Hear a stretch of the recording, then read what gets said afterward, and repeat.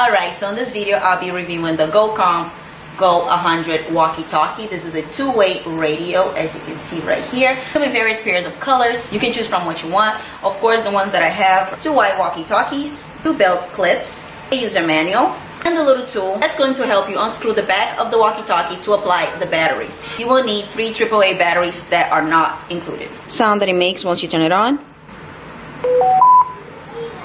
Sound that it makes once you turn it off.